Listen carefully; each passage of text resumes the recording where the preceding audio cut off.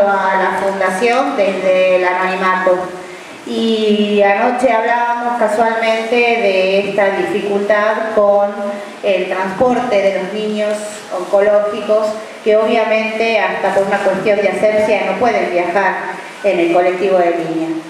Creo que, como bien ella lo explicaba, esto excede cualquier bandería política y debiéramos los ocho concejales de San Pedro de Jujuy trabajar en un proyecto serio para que sea elevado también a la Cámara de Diputados y que nos ayuden a través de transporte de la provincia a que no solo los chicos de San Pedro, todos los niños con cáncer de la provincia tengan la posibilidad de manejarse, ya sea un remis interurbano o de alguna forma con un convenio con el municipio o la secretaría, que ellos resuelvan la parte legal, pero que sea una realidad. Que el papá solo tenga la preocupación de ver cómo se le da la cura al niño o una mejor calidad de vida. Creo que los ocho podemos hacer el trámite que, compete a este Consejo Deliberante. Seguramente el Intendente también nos va a ayudar a hacer esas gestiones y hagamos que esta fundación también se tenga que desligar de ese problema, al menos demos la oportunidad de que las chicas tengan que ocuparse solamente de hacer la contención y de acompañar a las familias. Así que los invito a que en la semana que tenemos por delante empecemos a trabajar sobre el mismo. Pido la palabra, señor presidente. Tiene la palabra, continuar Ya, este, Ariela, es así, este, yo creo que acá todos tenemos que participar. Está muy buena la idea de que entre todos presentemos el proyecto porque a mí me tocó este, alguna oportunidad de acompañar a Natalia, acompañar a Alma a diferentes localidades. Y es lamentable algo que uno por ahí no sabe. Yo no sabía de que había chiquitos, tan chiquitos, que, padecían esta enfermedad. Y es tan feo ver a esas familias, y, y hay muchas familias humildes. La mayoría de las familias que están contenidas acá por la asociación son familias humildes. Y es verdad lo que dice Natalia, que muchas veces este, acá en San Pedro tenemos muchos casos yo conocí un caso, por, ella llegué a la casa esa de la nenita de barrio de La, la conocí a la chiquita Valeria de, de, Fraile Pintado también. Y es lamentable ver la, la, nena esa de 15 años, es una criatura con serie de 8 años, este, postrada en la cama, con suero. Y bueno, por ahí a uno le da impotencia, ¿no? De que, de verdad, por ahí hay muchas cosas, digamos, de que no tendría que pasar. Este, hay muchas muchas cosas que la cual este, esto es algo, como dice mucho, la salud está primero y tendría que ser así. Tendría que ser así, tendría que verse, pero en estos casos no se ve. Yo sé la lucha acá de la chica, yo sé la lucha de Natalia, que tiene un hijito que padece de esta enfermedad. ¿Entienden? Entonces, desde ya te acompaño ese proyecto y sería bueno que hagamos entre todos acá de San Pedro algo, digamos, para poder, este, para poder paliar esta situación, porque hay madres que no, no tienen, no tienen para el pasaje, no tienen, hay señoras que los llevan a los chiquitos en reví, hay otras que los llevan en colectivo y por ahí cuando tienen el turno allá en el hospital no lo pueden llevar porque no llegan con el dinero. Por eso sería importante de que nosotros, por lo menos acá de San Pedro, ocho concejales, nos pongamos este, a trabajar en un proyecto fuerte en ese tema. Y bueno, este, ya felicitarte, ¿no? felicitar a la chica por la fuerza, por la lucha y, este, saludarla a toda esa mamá que he tenido la oportunidad, gracias a ustedes, de poder conocer a varias mamás que están pasando por esta situación. Y es feo, es muy feo, digamos, lo más sagrado que hay en la vida es la familia, lo más sagrado es mi hijo, y que le paso a mi hijo tan pequeña, de tan pequeña edad, es muy feo, chica. Así que yo creo que acá eh, bien por Ariela que presentó el proyecto, se declaró de interés municipal sobre tabla de los ocho concejales y, este, hoy, y, ahora vamos a ir por el proyecto ese para presentar, para ver este, eh, entre todo, yo creo que entre todo va a ser más fácil. No el concejal Basualdo o tan solo la concejal Ariela Moyano, acá entre todos los concejales yo creo que va a ser mucho más fácil. Si tenemos que ir a hablar ya con el ministro de, de, de salud, lo iremos ahí para ver de qué manera podemos ir paliando esta situación. Así que ya, ¿no? Este, también, ¿no? Con te lo convoco a todos los concejales que nos podamos trabajar en esto y podamos, digamos, este, entre todos, este, brindar un granito de arena y ver, este, eh, salir adelante ¿no? esta situación. Yo creo que no va a ser, digamos, este, no, se va, no se va a terminar de solucionar, pero algo por lo menos podemos ayudar. Así que. Bueno, Natalia, después de hacer por la campaña.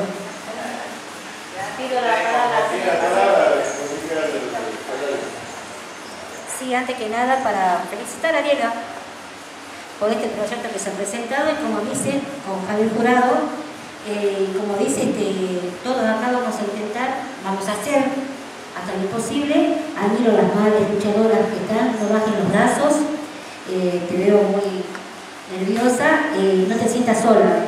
Yo creo que este es el puntapié inicial que damos todos acá en San Pedro de Jujuy para que cambie un poco la calidad de vida de todos los niños que sufren tan penosa enfermedad. Así que no se sientan solas, que los concejales acá de San Pedro de Jujuy vamos a hacer eh, todo lo imposible para que pueda salir todo esto bien y que tenga mejor calidad de vida con sus hijos.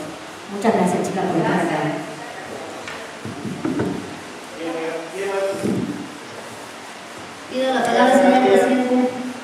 Sí, bueno, este, Natalia y Dama, felicitarles por todo el trabajo que llevan adelante. Creo que lo hacen de corazón porque lo están viviendo día a día y saben de lo, de lo difícil que es. Y contener a esa familia debe ser mucho más todavía. Así que desde nuestro, desde nuestro lugar como concejales nos dieron la posibilidad, el pueblo sanpedreño, de estar acá. Así que yo creo que los ocho concejales vamos a trabajar eh, incansablemente para que este proyecto eh, tenga este, un buen futuro y realmente eh, se logre un transporte gratuito para los chicos que padecen cáncer y otras enfermedades similares porque ya el dolor es tan grande de llevar la carga de tener un niño o un familiar enfermo que agregarle más todavía es demasiado. Así que desde nuestro humilde lugar vamos a trabajar para que el transporte sea gratuito y tratar de colaborar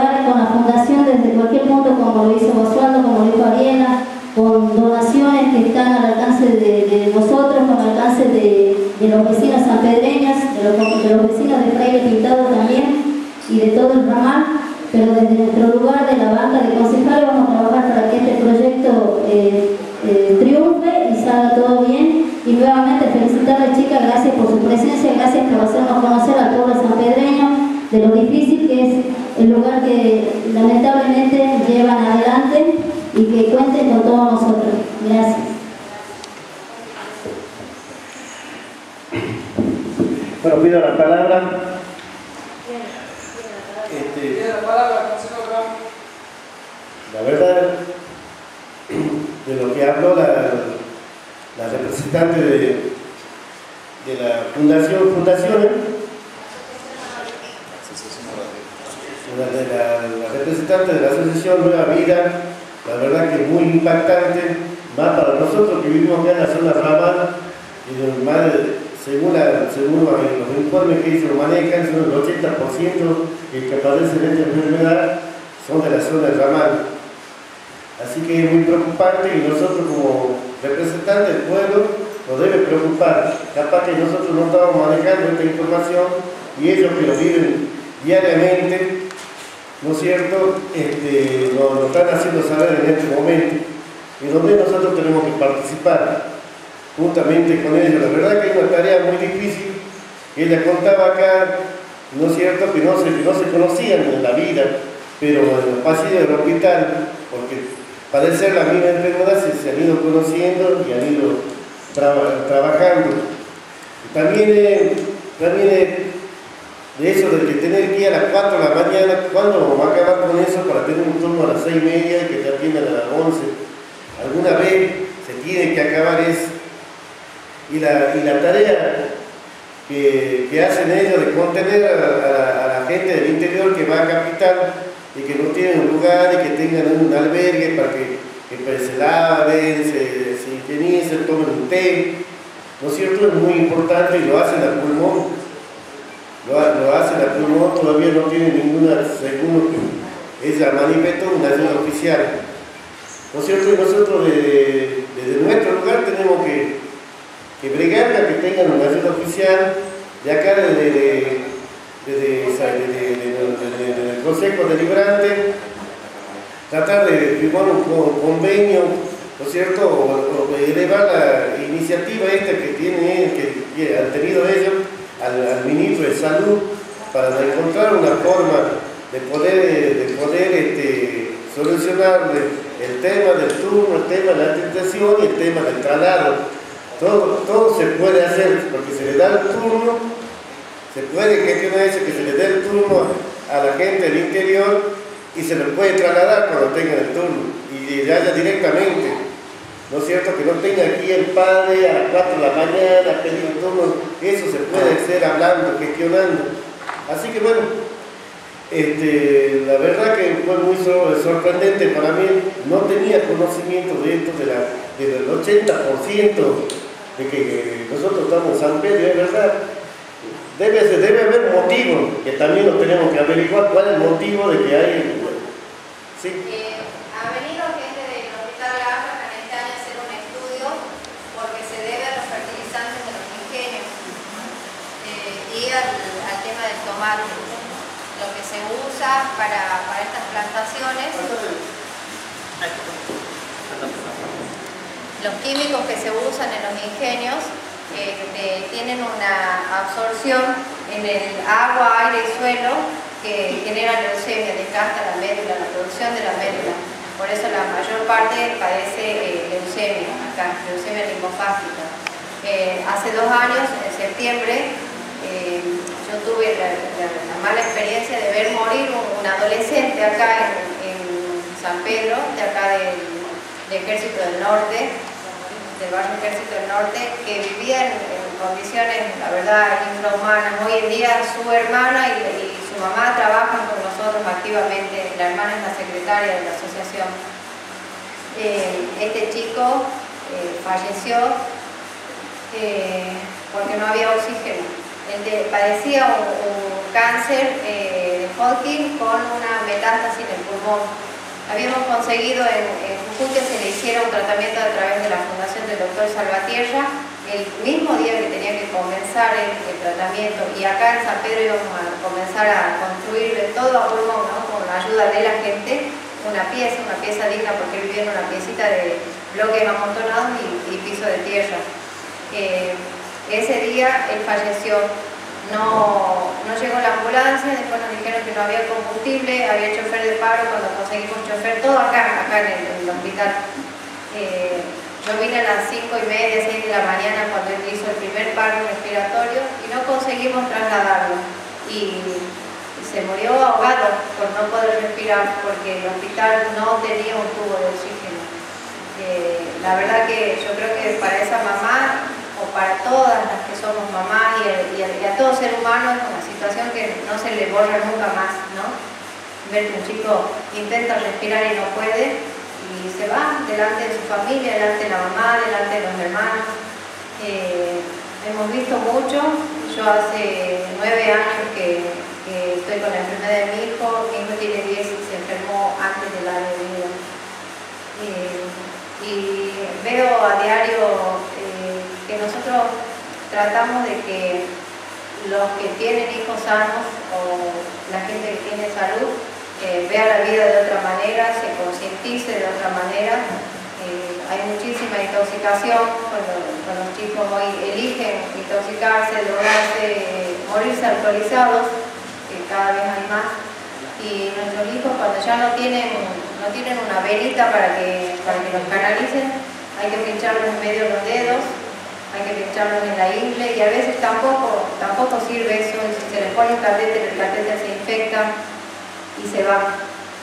Eh, muchos niños no, mueren por el cáncer sino por el tratamiento y el tratamiento no funciona cuando el niño no vive bien, no vive en condiciones este, humanas.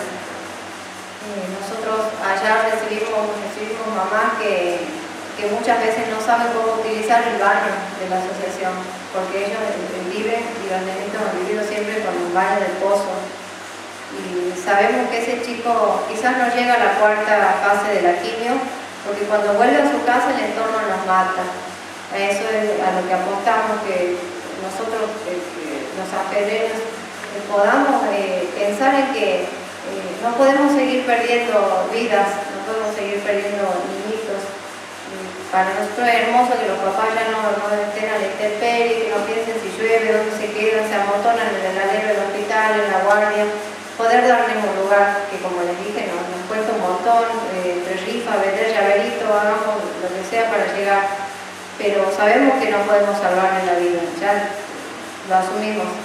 Eh, lo que él decía recién, acá en San Pedro son un 80%, sí, es verdad, eh, lamentablemente el, crecimiento industrial nos ha, nos ha traído mucha muerte y bueno, tratemos de, por lo menos nosotros combatir en, apostar a la vida. Eso nada más. Bueno, por eso, acá los ocho concejales, bueno, bueno, ahora somos siete, este, vamos a trabajar en conjunto de presidencias, de las distintas comisiones. Hay, hay, hay, muchas formas de darle respuesta a ustedes. Está el Jujuy Hábitat, ¿no es cierto? Y donde se hace un mejor vivir a cada vecino y lo que tienen que tener prioridad para que tengan prioridad es justamente los, los chiquitos que padecen el cáncer, ¿no es cierto? Y hacer el mejor vivir. El mejor vivir es una habitación, una cocina y un baño, ¿no es cierto? Y nosotros tenemos que trabajar en conjunto, ustedes nos tienen que hacer llegar la nómina de acá de San Pedro y juntos unir todos los concejales para que no ninguno se debe ningún rédito, porque es una cuestión de, de humanidad de humanidad no es una cuestión política, es una cuestión de humanidad para que juntos vamos al Instituto de Vivienda y les solicitemos que tengan prioridad esta, esta nómina de chicos para que se le haga un mejor vivir. Nosotros hemos presentado un proyecto en el Ministerio de Ordenamiento Territorial, el cual a los dos días fue aprobado. Eh, hemos, presentado ya el listado de los chicos y ya se está empezando a visitar. Eh, lo que sí, bueno, habrá que ver el tema del tiempo, porque sabemos que mejor vivir demora un año pero este, por ahora, gracias a Dios, tenemos aprobado el proyecto. Acá en San Pedro estamos eh, terminando de pelear la adjudicación, que ya está en un 70%, de una casa para esta nena Guadalupe, que les comentaba hace rato, que vive nueve personas en una pieza. Eh, eh, por ahí, en, ese caso, podríamos canalizar la ayuda. Bueno, estamos a disposición porque nosotros para ayudar, ayudar a gestionar para que se acelere el trámite. Bueno, por secretaría. Tiene la palabra. Tiene la palabra. Eh, la verdad que, perdón chicas, y perdón a la familia por la burocracia de algunas oficinas de nuestra sociedad también. Porque cuando no nos pasa, pasa de largo todo. Y no miramos, y no vemos, y no sabemos. Yo quisiera que nos comprometamos los concejales para que nosotros presentemos el proyecto, elaboremos el proyecto, pidiéndole a la municipalidad, ya que tiene áreas, que se convoque a hacer el relevamiento de estas 80 familias, que seguramente las chicas nos van a dar el nombre, nos van a hacer más fácil todavía lo que es, porque ellas lo tienen ya hecho a ese relevamiento de las familias, y que también por medio de las cooperativas, y como decía el presidente, por medio de, de vivienda también se pueda dar solución pronta, solución a lo que están padeciendo las familias de estos eh, hermanos sanpedreños que están pasando esta situación. Así que nosotros alguna vez en estos años existía un organismo de ayudas urgentes y que se solucionaba prácticamente todo. Ahí se traía y se pedía hasta los muebles y algunas cosas que necesitaban urgentemente y eso venía de Nación. Vamos a averiguar qué puede ser que podemos ayudar. Pero el compromiso sigue siendo ese, chicas. Quiero que se queden tranquilas. Eh, están pagando 7 mil pesos de un alquiler en la provincia en San Salvador para esa casa, es mucho. Así que seguir despertando y concientizando a nuestra comunidad de lo que pasa en cada uno de la oportunidad de vida que podemos hacer, o si ya está en el ocaso de la vida, por lo menos hacer digna esa muerte que indefectiblemente vendrá, pero que puedan esas últimas horas de su vida disfrutar de algo digno, como tiene que ser cada una de la sociedad. Acá hasta han puesto puntos relevantes, hasta para la inhumación de un cuerpo eh, hay dificultades, hasta eso, hasta el último segundo, padecer la familia, esta situación crítica, y no solamente perder la familia, sino saber dónde poder sepultar e-, ese niño y ese pedazo de vida que han tenido toda su vida. Así que disculpa por esa burocracia, por esa insolencia que tenemos los seres humanos muchas veces de no fijarnos y de no mirar otras cosas por el ego desmedido de muchos de nosotros que estamos en otras situaciones y no nos bajamos eh, por esas situaciones que hacen el ser humano muchas veces incomprensible en una sociedad que avanzó tanto, que tenemos tantos años, que hemos visto caer tantas cosas y al final seguimos en la misma, ignorando la vida que es tan importante para todos. Así que el compromiso sigue siendo, chicas, muchas gracias y vamos a seguir trabajando. Sí, bueno, ahí, ahí Javier manifestó que sigue, quiero decir a Javier, a chica que sigue todavía en vigencia la ayuda inmediata.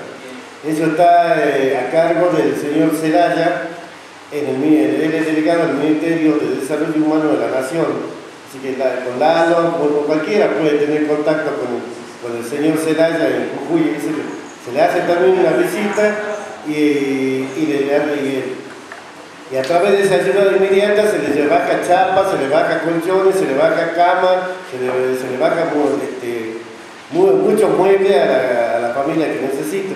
Así que bueno, ahí pueden trabajar con ese tema con, el, con, con Lalo. Y, bueno, Lalo es nuestro. ¿no es cierto? Nosotros todos trabajamos en ese tema con Celaya, teniendo la, la, nómina y viendo las prioridades. Bueno, Pida la palabra, señor Pasando en limpio, estos ocho concejales nos comprometemos a trabajar en lo que es el traslado de todos los pacientes oncológicos de la provincia para que puedan, eh, a través de las gestiones que hagamos, este, ver si podemos dar solución a eso. Estos ocho concejales nos comprometemos también a trabajar de forma inmediata el Estado mediante que nos deje una tarea de los chicos de San Pedro específicamente en lo que es ayuda urgente y canalizarlo, ya sea por Celaya o la señorita Amato que creo que sigue en el municipio trabajando con lo mismo. Y con eh, eh, hacer un proyecto donde pidamos con ese listado que la municipalidad haga un relevamiento y quizás a través de las cooperativas de construcción que están trabajando aquí en San Pedro se pueda dar ayuda inmediata. Obviamente también vamos a seguir ese proyecto que presentó Natalia y vamos a ayudar entre los ocho con también la oficina, que no sé qué nombre tendrá ahora, pero lo que antes era vivienda, para que se resuelvan todas las dificultades. Seamos los ocho los gestores para que los padres tengan más tiempo para dedicarle a sus hijos y las chicas tengan más tiempo para difundir la tarea que hacen con la fundación. Y sumemos uno más si están pagando 7 mil pesos de eh, alquiler, veamos también la forma si a través de la provincia, a través de desarrollo social de la provincia o de la nación, se puede conseguir un subsidio para que las chicas, cuando tengan que juntar plata, sea para comprarle golosinas, juguetes, llevarlos a tomar un helado o hacer cualquier otra tarea social con los chicos y poder brindarles una mejor calidad de vida. Señor Presidente, me gustaría que con Javier y con todos los concejales presentes le hagamos entrega a Natalia y a quienes nos están acompañando hoy de esta resolución. Este, bueno, por secretaría, vamos a pedir, una audiencia, o sea, al señor Celaya, para que sea más directo, este, la ayuda a la chica. Vamos a pedir eh, también en ese mismo día una audiencia al señor Humberto, Humberto García, que es de ordenamiento territorial, para que este, vea la, posibilidad de solucionar el tema de la, construcción de la mejor vivir. El tema es el que está demorado, se demora eso porque es el tema de la aprobación de los cargos del terreno donde está viviendo.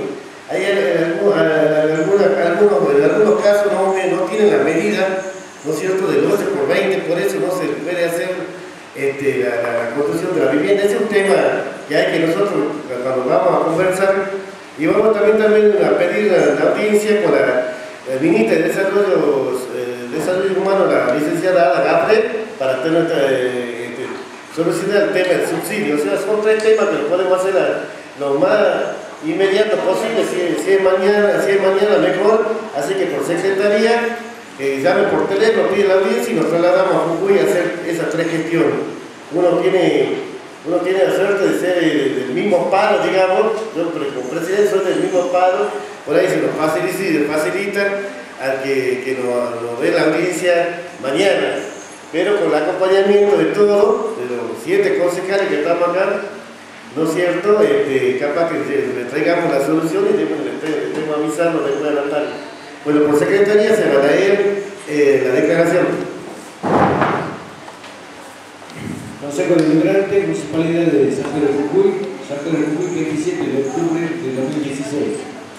El Consejo Deliberante de la Municipalidad de San Pedro de Jujuy. No tiene nada que ver cuarto intermedio, en uso de la facultad de complejo por la Carta Orgánica Municipal vigente en su artículo 100 de las declaraciones, apruebo la siguiente declaración, número 2070-2016. Artículo primero.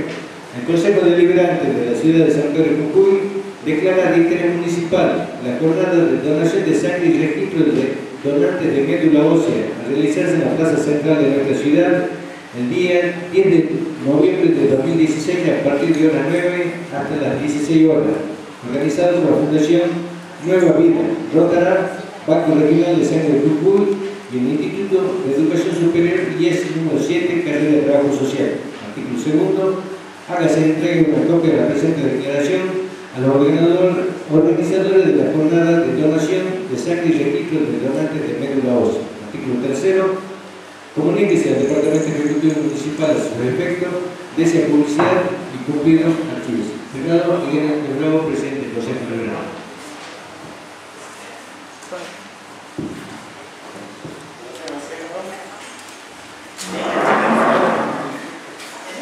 Vayan, vayan todos.